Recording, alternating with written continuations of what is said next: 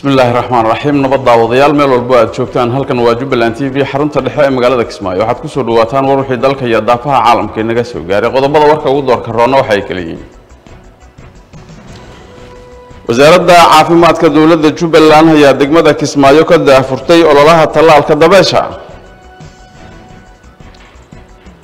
wasiirka wasaaradda haweenka jubbaland ayaa kulan la qaadatay madax ka socotay hay'adaha u n d b iyo u n women wafdi uu hogaaminayo ku-xigeenka wakiilka gaarka ah ee qaramada midoobay u qaabilsan arrimaha bini-aadanimada ayaa gaaray magaalada baydhabo jannaay ee xarunta gobolka baay. Wararka dibaddana waxaad ku daawan doontaan madaxweyne ku-xigeen hore ee dalka maraykanka ayaa si cad waxa uu taageeray madaxweyne ku-xigeenka xilligan u taagan musharaxa kursiga ugu sarreeya dalkaasi maraykanka qodobadaas iyo qodobo kale u diyaargarooba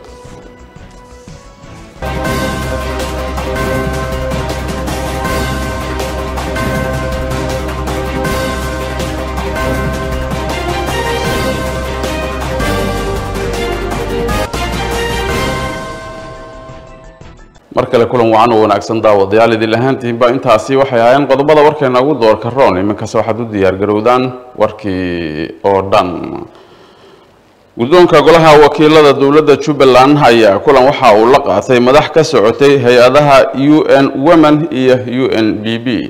Sida warbixintan uu ku faahfaahinayo maxamed ibraahim washington gudoomiyaha golaha wakiilada jubbaland mudane cabdi maxamed cabdiraxmaan iyo qaar ka mid ah xildhibaanada jubbaland ayaa maanta xarunta baarlamanka kula kulmay xiriiryaha u n women soomaaliya iyo marti sharaf kale oo ka socotay u n women soomaaliya cabdi maxamed cabdiraxmaan gudoomiyaha golaha wakiilada jubbaland oo ka hadlay soo dhoweynta wafdiga ayaa sheegay inay ku faraxsan yihiin madaxda maanta ay kulanka la qaateen islamarkaana ay muhiim tahay xoojinta wada shaqeynta hay'adaha qaramada midoobay gaar ahaan kuwa ka shaqeeya xuquuqul insaanka waxaan kugu soo dhaweyneynaa waan halkaan ku soo dhaweyneynaa walaalkeen sayid saadiq oo ah xiriiryaha u n woman soomaaliya country director iyo saaxiibadiis waxaan idin leenahay soo dhowaada jubbaland ku soo dhowaada kismaayo ku soo dhowaada hoolkii golaha baarlamaanka ku soo dhowaada insha allahu gabdhahan halka fadhiya waa gabdhaha baarlamaanka ku jiro. Qaarkood qaar baa maqan. Marka de insha allahu aada iyo aadna farxad bay noogu tahay inaad nagu soo booqataan halkan. Shaqooyinkii aad hore noola qabateenna waa idinka mahadnaqaynaa. Marka waxay aad dhihitaana hodhow waa idin dhihi doonaa laakiin waxaa idin leenahay soo dhowaada gacmo furan ku soo dhowaada maxamed ibraahim washington warbaahinta jubbaland kismaayo. Wasaaradda caafimaadka dowladda jubbaland ayaa degmada kismaayo ka daafurtay ololaha tallaalka dabaysha.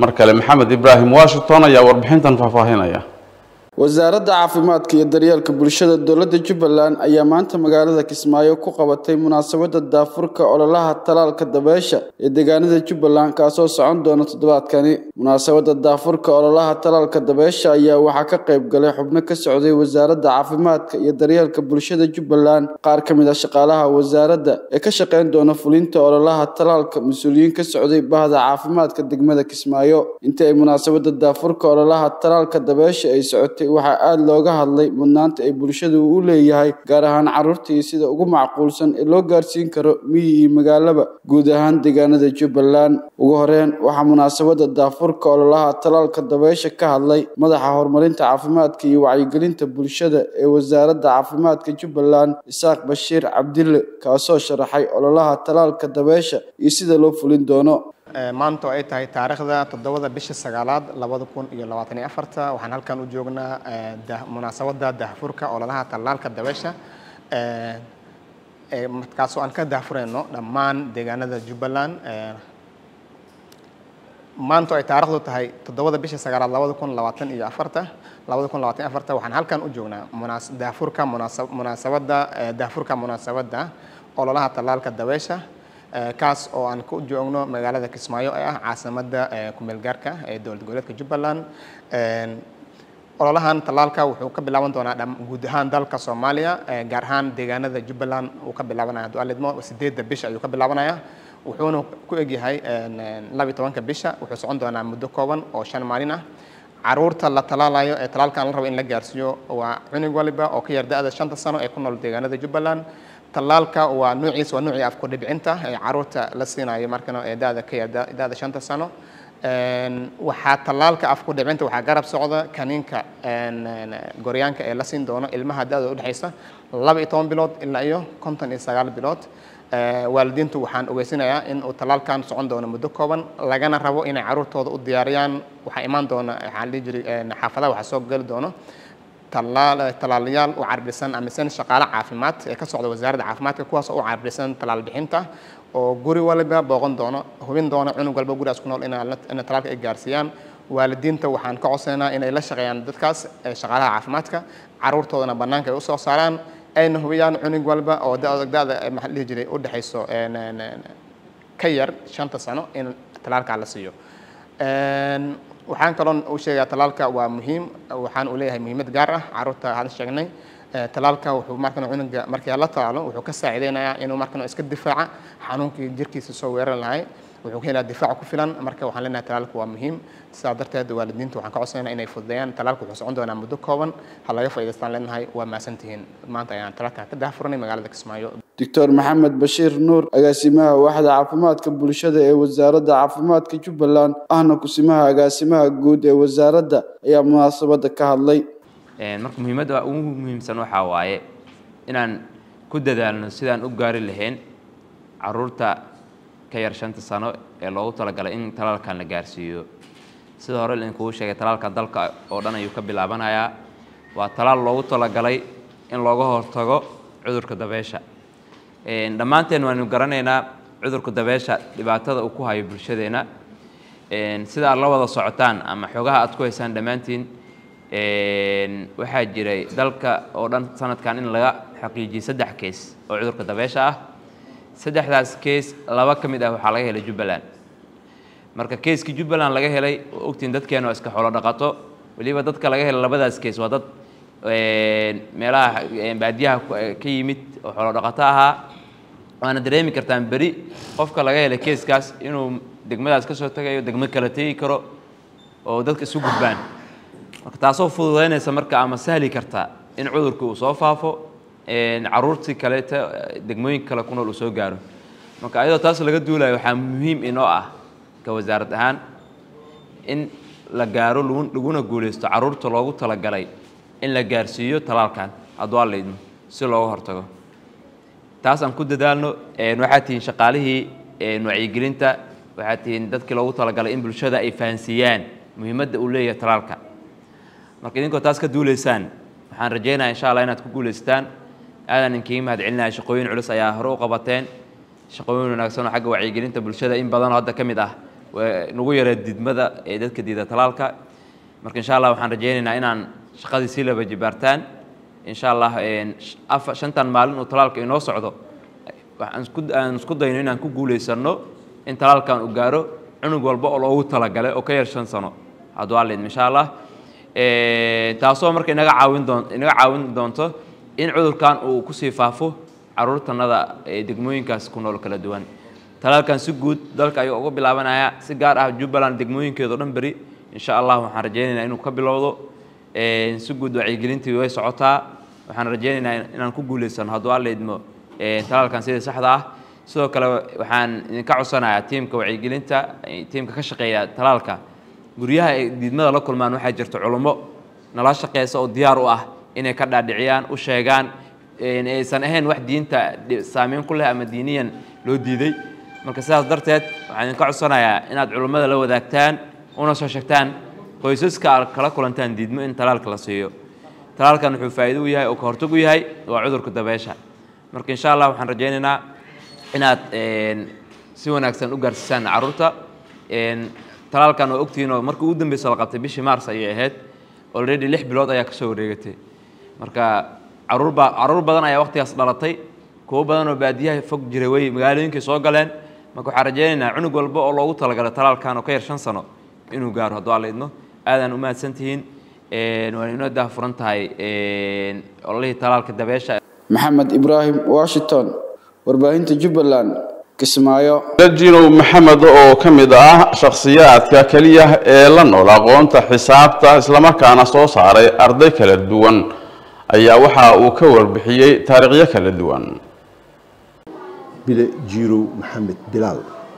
Inaad noqotaan idinkana dadkii haddana jegada iyada buuxin kun sagaal boqol lixdan iyo saddexdii ayuu ku dhashay degmada kismaayo xaafadda shaqaalaha gaar ahaan suuqyare bile jiirow maxamed bilaal macallin bile waayihiisa waxbarasho waxa uu ka soo bilaabay isla degmada kismaayo gaar ahaan iskuulka hoose dhexe sare ee maxamed jaamac kaas oo ku yaalla xaafadda shaqaalaha. Waxaan ku dhashay horta sideeda badanba isla magaalada kismaayo aan ku dhashay. Xaafadda shaqaalahaan ku dhashay weliba qaasatan suuqyare sanadka aan dhashayna waxay ahayd kun sagaal boqol iyo lixdan iyo saddexdii. Xornimada markay jirtay saddex sano. Xornimada markii waddanka uu haystay kadib aan dhashay saddex sano saddexdii markaan dhashay ka dambe waxbarashada isku waxaan tegey qur'aanka dugsi qur'aana la geeyey macallinkayga dugsiga qur'aan wuxuu ahaa sheekh daahir sheekh daahir uu ahaa. Marka ka dambow waxaan gartay marka oo ilaahay nasiib ii siiyey inaan ka mid noqdo bahda waxbarashada qaybta ardayda. Dugsigaas maxamed jaamaca lagu magacaaba koowaadka layga qoray waa maamulo ku-xigeenka dugsiga hoose dhexe sare ee ganaane. Waxa uu ka mid yahay macallimiintii soo saaray arday maanta qayb ka ah madaxda dalka. Bilo jinow maxamed waa shakhsiga keliya ee la nool aqoonta xisaabta islamarkaana soo saaray arday ku takhasustay maadada xisaabta kun sagaal boqol siddeetan iyo shantii ayuu ka mid noqday arday codsatay waxbarasho jaamacadeed isagoona nasiib u yeeshay arday loo diray jaamacadda la foole halkaasna uu ku soo qaatay heerkiisa waxbarasho jaamacadeed. Marka galaaskaasaan ku galnay imtixaankii nasiibana waa soo baxay. Marka imtixaanka maalinka ugu dambeeya ee la qaadaya waxaa lagu keenayaa warqad registration la buuxinaya form la buuxinaya lagu keenaya waxaa lagu weydiinayaa hamigaaga waxa adigu aa rabto imtixaanka laba qaybood waa marka inaad tiraahdo anigu dallacad baan rabaa ama ama jaamacad baan rabaa. Marka anoo ejkeyga ku xisaabtamaya marka waxaan idhi afar sano hadda ka bacdi waxay kaa dhigtaaba iska yarba. Waxaan qortay markaa jaamacad jaamacadda aan qortay waxay jaamacadda la foole. Marka laba sano camal naga maqnaa sanadka aan sameyno siddeetan iyo shantii ahayd siddeetan lixdii waa maqnaa resultiga imtixaankii la soo saaray. Marka adigu kolley ma qiyaasi karo aniga sida ay wax ahaayeen. Laakiin waxa waaye numberka shanaad ee markaa dadkii loo qaatay inay jaamacadda aadaan ku jiray yaan ka mid noqday number shan. Waxaa dhici karta dad codsaday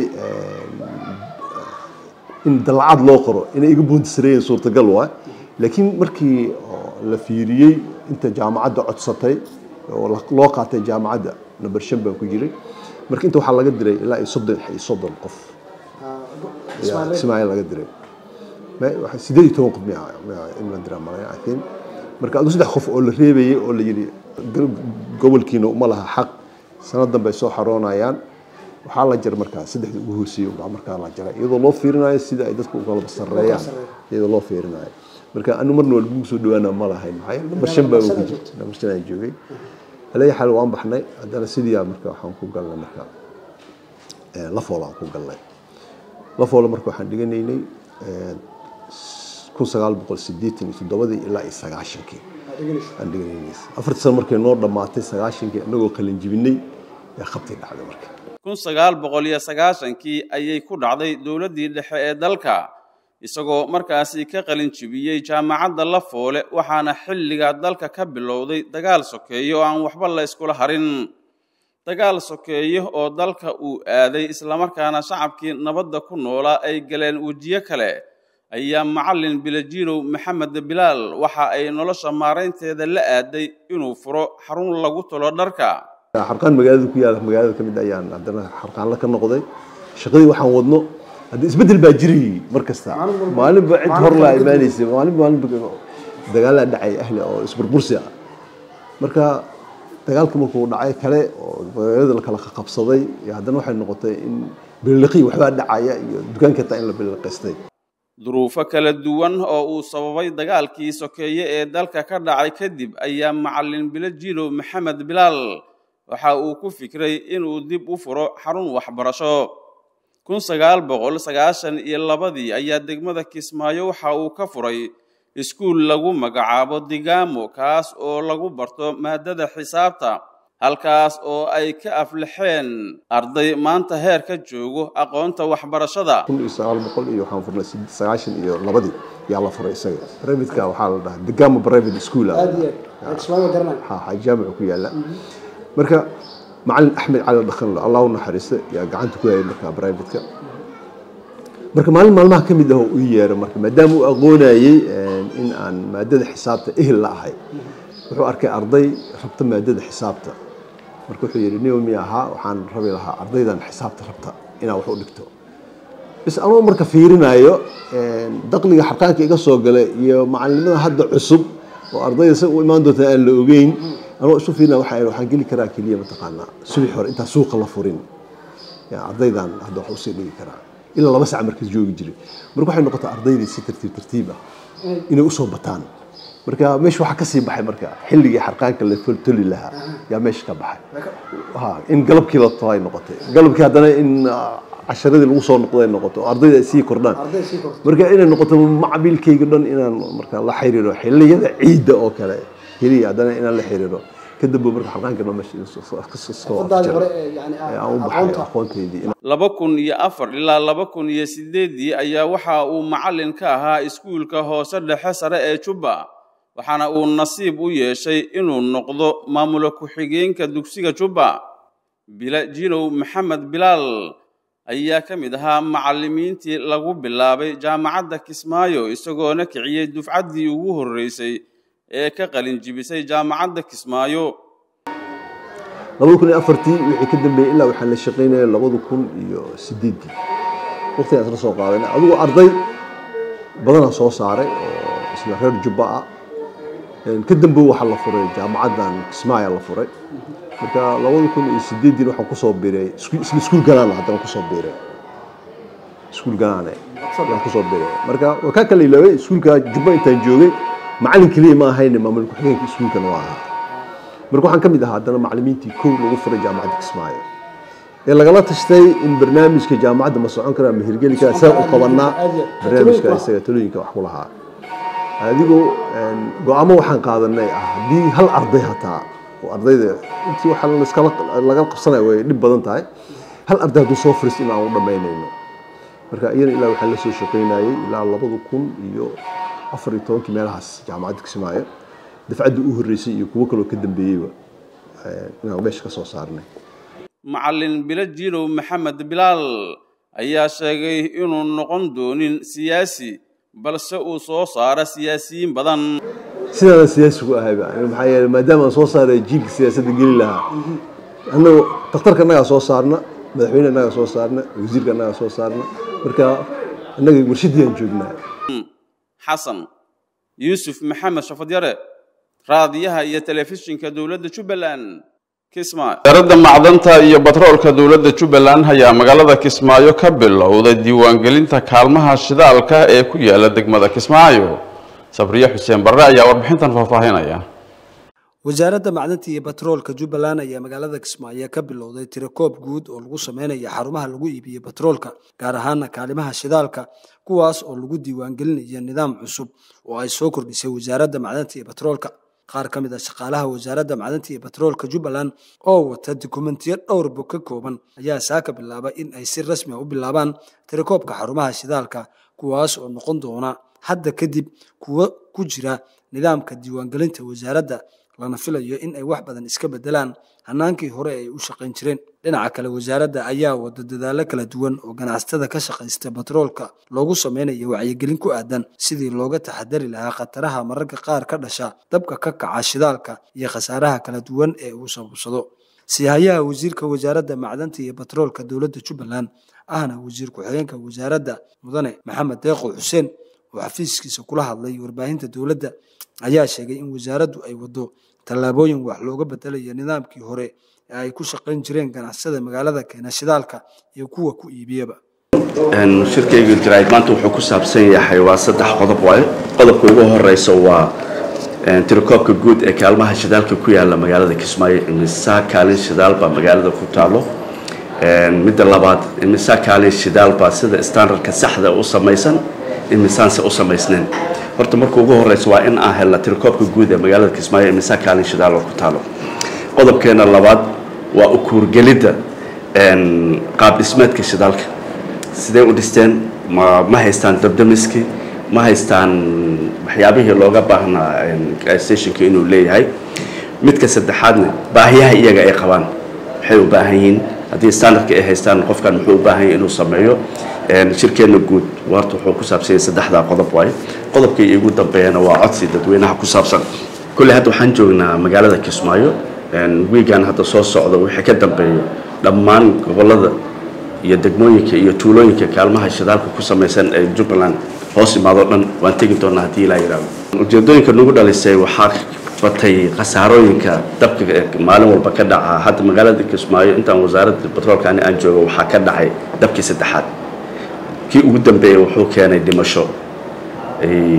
Kuwii hore waxaa laga yaabay inay dadka hantidooda ku burburaysay laakiin kii ugu dambeeyey wuxuu keenay dhimasho aad fara ilaa dhowr qof baa hadda dhimatay. Waxaa noo qorshaysan markaan diiwaan gelina dhammaantood waxaan helaynaa ama sida hadda noo shaqadeena u socoto wasaaradda u socoto kaalin walba meesha ay ku taalla boosishinka ay ku taallo ayaan helaynaa haddii mid uu dab ka dhaco waan heli karnaa kaalinka gubatay automatically markaas annaga waxaan ka arkaynaa system annaga anoo diyaarsanay wasaaradda ay diyaarsatay teleefanadeen macalaha shaqaalaha aniga agaasimaha kulli teleefonkaasaan kala soconayna kaalinta shidaalka gubato. Qorshaha noo degan baa kaasa kaalimaha shidaalka aan standardka ahayn waxaan ka soo go'aanman ka soo gaari doonaa haddii ilaa yidhaahdo kuwaasna qorshaha loo sameynaya iyaga laakiin hadda kama hordhacayo. Bulshada waxaan la wadaagayaa ka codsanayaa shaqaalaha wasaaradda batroolka ee ku mashquulsan tirakoobka. Qaarkood waxay ku shaqeynayaan si voluntary ah. Waxaan ka codsanaynaa dadweynaha in ay si wanaagsan oo la shaqeeyaan registration formkana u fududeeyaan. Lacaga hadda kama aruursanayno laakiin waa in aan registration sameynaa. Dadweynahan waxaan ka codsanaynaa sida ugu wanaagsan inay shaqaalaheena oola shaqeeyaan boqolkiiba sagaashan waxaan filayaa in uu yaraan doono dabka. Dabka dee waa qadar ilaahay wey laakiin annagu dadaalka aan wadno wasaarad ahaan waxaan u malaynayaa inayn ku guulaysan doono inuusan dab dambe kaalin shidaal ka dhicin. Sida shirka ugu dambeeyey khataraha dabka ka dhaca ayay ahayd. Saan ka wada hadlaynay iyo sidee looga hortegi karaa. Haddana kulamo kalaa soo socdo waxaan ku guulaysan doonaa in aan ka gudbi doono khatarta dabka iyo shidaalka. Sabriyo soomaali warbaahinta jubbaland magaalada kismaayo. Wafdi uu hogaaminayo ku-xigeenka wakiilka gaarka ah ee qaramada midoobey u qaabilsan arrimaha bini-aadanimada ayaa gaaray magaalada baydhabo janna ee xarunta gobolka ba iyagoona kulan la qaatay.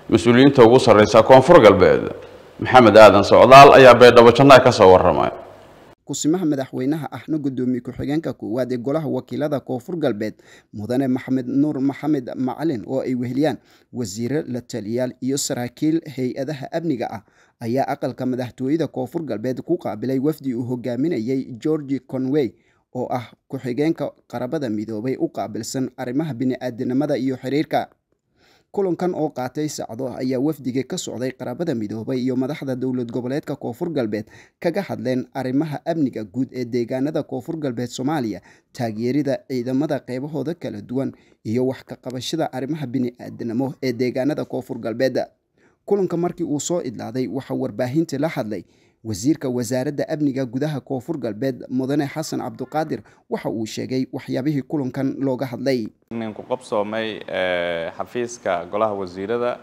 magaalada baydhabo dowladda koonfur galbeed. Shirkaasoo shir gudoomiyaha kusimaha madaxweynaha ahna gudoomiye ku-xigeenka koowaad golaha baarlamaanka dowladda koonfur galbeed. Waan ha ku qeyb galeen runtii wasiiro iyo tiam ku socda un-ka walina lanku wada hadlaaya arrimo ammaanka guud deegaanadan dowladda koonfur galbeed iyo howlgallada ku socda guud ahaan dalka. Saas oo kale wali laku wada hadlaaya arrimo gargaarka bani-aadanimo oo deegaanadan koonfur galbeed lakuwado un-kana wali imahadnageena dowladda koonfur galbeed iyo qaabkii oon la shaqeeya hayto hay'ado amniga si guud dhan kasta. Ununa saas oo kale wali inkumahadnagnay shaqada faylo ayuu ku haayaan dowladda koonfur galbeed dhatiye haddii haada lahaytay arrimo horumarineed haddii haada lahaytay arrimo gargaar iyo haddii haada lahaytay inuu si bood gareeyaan arrimo amniga. Maxamed aadan socdaal warbaahinta jubbaland baydhabo. Golaha xirfadlayaasha qaranka ayaa waxa ay digniin adag u direen xarumaha bixiya adeegyada caafimaadka ee guud ahaan dalkeena. Cabdulaahi maxamed axmed samooda ayaa muqdisho warbixintan ka soo diray. Waxaan halkan rabaa inaan ka jeediyo digniin ku socota dhammaan xarumaha bixiya adeega caafimaadka. Golaha mihnadlayaasha caafimaadka qaranka ayaa soo saaray digniino ku socota xarumaha bixiya adeegyada caafimaadka iyo mihnadlayaasha caafimaadka taasoo ah in xarumaha caafimaadka iska soo diiwaangeliyaan golaha mihnadlayaasha caafimaadka qaranka qaataanna rukhsadda howlgelidda xarunta xaruntii iska diiwaangelin weysana lala tiigsan doono sharciga xogayaha guud ee golaha mihnadlayaasha caafimaadka qaranka doctor cabdirasaaq xasan maxamed ayaa warbaahinta u akhriyey war murtiyeed ka soo baxay golaha oo digniin loogu diray xarumaha caafimaadka ee aan rukhsadda haysan. Sida ku cad qodobka afartan iyo sideedaad farqadiisa koowaad labaad iyo saddexaad qodobka afartan iyo toddobaad farqadiisa koowaad qodobka labaatan iyo afraad farqadiisa afraad iyo qodobka konton iyo toddobaad farqadiisa koowaad ee sharciga golaha mihnadayaasha caafimaadka qaranka ee tirsigiisu yahay l r soddon iyo kow xarun kasta oo adeeg caafimaad siisa bulshada ma howlgeli karto iyada oo aan marka hore isdiiwaangelin lana siinin ruqsad ay ku horgoosho ee uu bixiyey golaha mihnadayaasha caafimaadka qaranka. Xarunta bixisa adeeg caafimaad oo kala duwan ama soo kordhisa adeeg cusub waxay golaha ka soo codsanaysaa in loo ansixiyo adeegyadaas sida waafaqsan sharciga golaha mihnadayaasha caafimaadka ee tirsigiisu yahay l r soddon haddii lagu helo xarun caafimaad in ay jebiso qodobada kor ku xusan waxay gelaysaa xadgudub waxayna mutaysanaysaa ciqaabta uu jideeyey xeerka ciqaabta soomaaliyeed iyo shuruucda kale ee dalka u taal. Sidaa oo kalena xarunta waxay mutaysanaysaa ganaaxa lacageed. Faldabeeyada ay galaan howlwadanada caafimaad ee ka howlgala xarun ku xadgudubtay qodobkiis qodobkiisa afaraad afartan iyo sideedaad farqadiisa koowaad iyagana waxaa lagu sameynayaa shaqo joojin waxayna ku weynay doonaan ruqsadda horey loo siiyey waxaana lagu ciqaabayaa ciqaabta uu jideeyey xeerka ciqaabta soomaaliyeed. Sida ku cad qodobka konton iyo labaad firqadiisa koowaad gooluhu wuxuu awood u leeyahay inuu amro xiritaanka xarunta caafimaad ee ku xadgudubta qodobada sharciga golaha midnayaasha caafimaadka qaranka iyo shuruudaha kale ee dalka u yaal. Dhammaan xarumaha adeega caafimaadka bixiya ee gaarka loo leeyahay iyo kuwa dowladda maamusha ee ka howlgala dalka waxaa lagu wargelinayaa in muddadii loo qabtay isdiiwaangelinta oo ay shaacisay wasiiru dowlaha wasaaradda caafimaadka doctor maryan maxamed xuseen dhamaatay ayna ku ekeed tobankii bishii sideedaad labada kun iyo labaatan iyo afarta. Qodobka afartan iyo saddexaad firqadiisa koowaad iyo labaad qodobka labaatan iyo afraad firqadiisa labaad iyo saddexaad qodobka soddon iyo labaad firqadiisa koowaad xarfaha ta ja iyo kha. Qodobka soddon iyo afraad firqadiisa koowaad qodobka soddon iyo lixaad firqadiisa koowaad ee sharciga golaha midnayaasha caafimaadka qaranka n h b c ee tirsigiisu yahay l r soddon iyo kow. Cidna looma ogola in ay u howlgasho mihnadle caafimaad ahaan haddii uusan qofkaasi uu u diiwaan gashnayn howlgalkaas qofna uma howlgeli karo sidii mihnadle caafimaad isagoo aan haysanin diiwaangelin iyo ruqsad uu bixiyey golaha mihnadayaasha caafimaadka qaranka goob kasta uu wadanka ka joogo. Qofka ku xadgudba qodobada kor ku xusan wuxuu gelayaa xadgudub isaga oo mutaysanaya ganax lacageed iyo wixii ciqaab ah ee ka dhasha howlqabadkiisa waxaana lagu ciqaabayaa ciqaabta uu jideeyey xeerka ciqaabta soomaaliyeed iyo shuruucda kale ee dalka u yaal. Cabdulaahi maxamed jubbaland t v muqdisho. Wasiirka wasaaradda haweenka iyo xuquuqul insaanka dowladda jubbaland ayaa magaalada kismaayo kulan kula qaadatay madax ka socotay hay'adaha u n d b iyo u n women. Hanad cabdi yuusuf ayaa warbixintan faahfaahinaya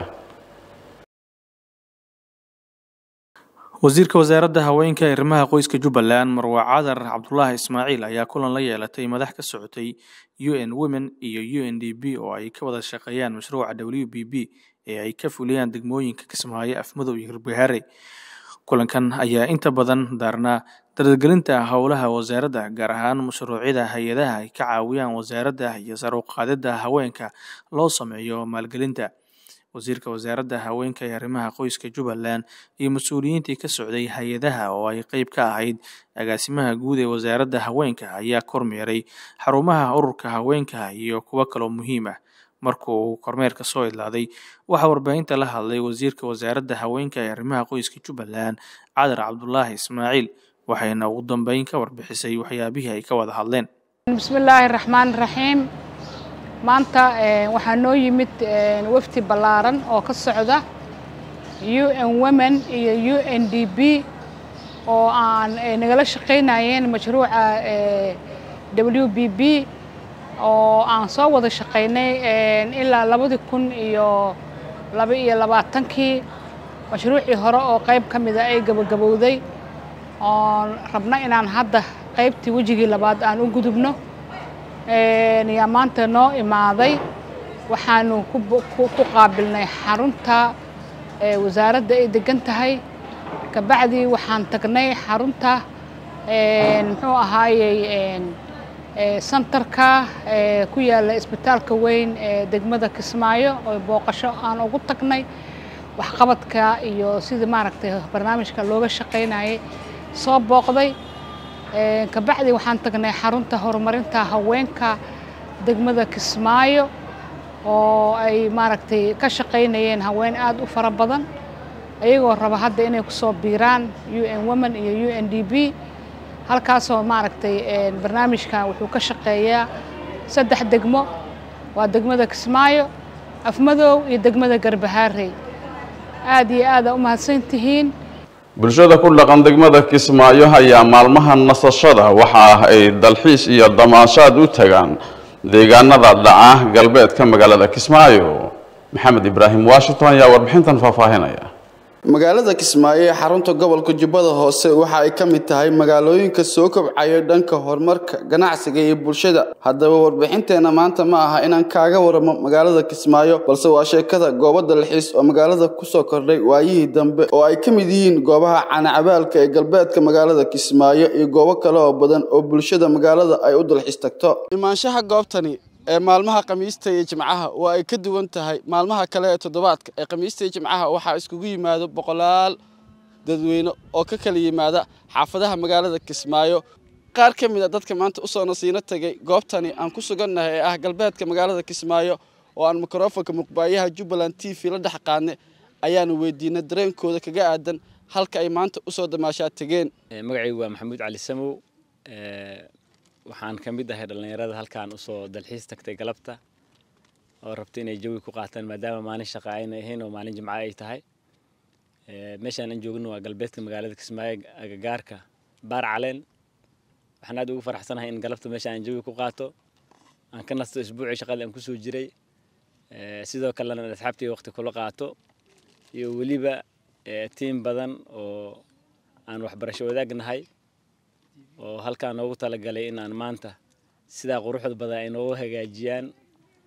Sidoo kale waxaan u mahad celinayaa t v-ga jubbaland oo asagana. Dee halkaa noogu daba imaaday si dareenka bulshada uu u tabiyo aadaa u mahadsantihin galabta waa jimco waan iska soo dalxiis tagnay. Waxaan u imaanay meeshaana caano ka cabno. Caano geel baa inta ka cabaynay iminkana waa ka soo dhammaanay. Caanaha meesha caanaha waa ka soo baxnay. Waxaan u soconnaa dhinacaan iyo baar caleena u soconaa meeshaan ay dhahaan kor baan rabnaa inaan sawiraan isaga soo qaadno. Hadde meeshaan cawo waa helaysaa dabayl caafimaad qabto dhirtii oo cagaaran xoolihii caaniyo freesha wax badan bay isdheer yihiin. Dhihi lahaa hala soo baxo. Xoolaha caanaha freeshka hala soo doonto. Naacawda hala soo qaato. Dabaysha caafimaadka hala imaadaan dhihi lahaa kadibna guryaha lagu noqdo si freesha loo seexda kadib dee geeli baa jooga caanihii baa jooga wax kastaad ka helaysaa. Nimcatu rabbi. Marka waxaan leeyahay bulshoy wadankiina ayni nabada. Magacay waa yuub maxamed aadan ka mid ah dhallinyarada magaalada kismaayo galabta waxaan soo aadnay magaalada banaankeeda si aan jawi ugu soo qaadano maadaama maalmaha kale ay iska tahay howlo shaqo iyo maalmo waxbarasho si aan halkan fasax annaga aan ugu nasanno jawina ugu soo qaadano waxaan dhalinyarada isticmaasho social media tiktoka marka wallaahi meeshaan waxaan u imaadnaa wax kale uma imaadna. Dad badan baa imaada gabdho dhalinyaro wiilo. Waxaan u imaadnaa video duwis. Marka waxaan rabaa dhalinyaro oo hadda maxaa jira meeshaan ogeenan meeshaan quruxda badan gaariyaasha iga dambeeya kulley waa arkaysa maleya marka waxaan ku codsanahay dhallinyaradaasna meesha magaaladeen inaan shidano kismaayadii waa ku dhalan aan horta waa ku dhishtaba gaar ahaan waxaan ku sii dhishtay fiyaaf madow meel la haddaa garanaysa marka waxaan ku codsanahay dhallinyarada inay imaado midda kale wallaahi meeshaan meel ka fiican ma lahan horta. Hadda waa arkaysaa intaasoo dad wixii kismaayo joogay gabar iyo wiilba waa iskugu imaadeen. Marka waa anidii waa intaas. Muuse faarax cabshir oo ka mid ah dadka geeleeda ee geela ku dhaqda galbeedka magaalada kismaayo oo dhankiisa noo waramay ayaa ka hadlay dadka u soo dalxiis taga maalmaha fasaxa iyo sida ay u soo dhoweeyaan. Anigoo ah muuse faarax cabshir waxaan halkaa maanta ugu soo booqday idaacadda tv-ga jubbaland t v waxaan maanta maalin kastoo fasaxa khamiis iyo jimco meeshaan nagu soo dabaaldego reer kismaayo. Annagoo oo waxayntaan geela meesha ku haysano marka xiliyada fasaxa ugu badan ay imaadaan waa jimcii khamiis. Meeshaan waxaa waayey kabaxa magaalada kismaayo gaar ahaan galbeedka magaalada kismaayo baar caleen. Waxay ku magac dheer tahay beer taxaad. Marka hase ahaatee maxaa dhihi jiray waxaa ugu badan maxaa la dhihi jiray laga heli karo waxaa waaye waa caanaha freeshka iilis hashaa adaa dooranaya wax oo ma ahan qanaacadaadan raadinaya wax adi ma ahan iska oo iska ma ahan. Waxaaba hashaan iilis aan leedahay. Intaas hadda ana kale magaalada soo gala uga sii duganna caanaha freeshka waxaadi waxaad leedahay hashaan ma rabi hashaan iilis hashaan meelkaan igu lis. Kana weelkaanaan wataa weelkiisa qofkaas hadduu rabo la imaana haddii kale anaga weelashaan hadduu ku qanacsan yahay weelashaasaan ku siinaynaa haddii asaga weel uu watana weelkiisaan bulshada. ogeen waxaan dhihi lahaa horta caano fresh ee meeshaan ugu imaada. Soo dhoweyn ballaaran meeshaan anaa jooga muuse faarax ah mulkiilaha geelana waa aniga. Maxamed ibraahim washington warbaahinta jubbaland galbeedka kismaayo. Hagaag daawadayaal weli waxaad la socotaan wararka telefishinka dowladda jubbaland oo idinkaga imaanaya xarunta dhexe ee tv-ga uu ku leeyahay kismaayo. Anigoo xasan yuusuf maxamed shafadirana waan idiin waramayaa goordhow wararka dibadda ayaad daawan doontaan balse xubinta ciyaaraha iyo khadra quraysh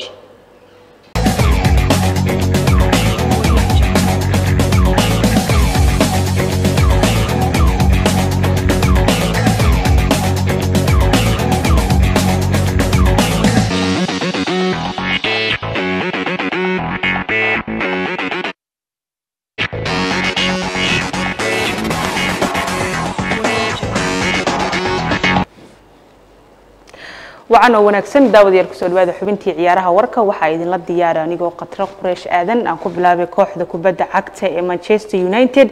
Ayaa war fiican ka heshay xidigeedii cusbaa ee dhowaan dhaawaca kaga maqnaa ee lien yoro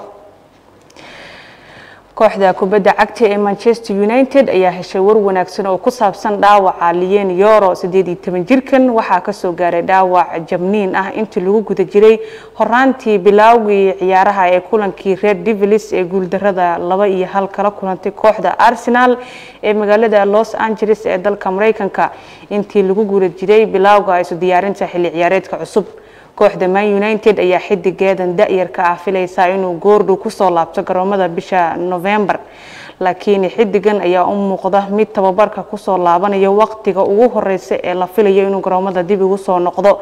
Kooxda ayaa tababar ku bilowday qolka jiimka ah isaga oo in in ugu sameyn doono tababar uu ku sameyn doono gurigiisa jimicsi bilaaw ah waa tahay kooxda arsenal ayaa war wanaagsan ka heshay. Kooxda arsenal ayaa war xun ka soo gaaray kabtanka kooxda. Tababaraha wadanka norway ayaa aaminsan in martini odiga uu dhaawac yahay islamarkaana uu ku dhaawacan yahay islamarkaana uu dhaawac ka soo gaaray kulankii arsenal ee barbarada hal iyo hal la gashay kooxda breyton ciyaaryahankan caalamiga ah ayaa muujinaya in premier leaga market artete aysan si dhow ula soconin xidiga kooxdiisa ee aadaya waajibaadka xulalka. Tababaraha norway ayaa ka niyajabay arsenal isagoo sheegay in kabtanka kooxda uu la dhibaatoonaya dhaawac soo gaaray.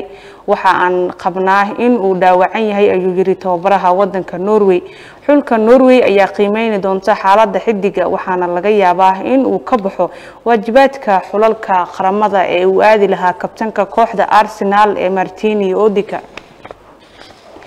waa tahay guud ahaan waynaga intaa xubintii ciyaaraha warka. Waxaan dib idinkugu celinaynaa qeybaha harsan ee warka.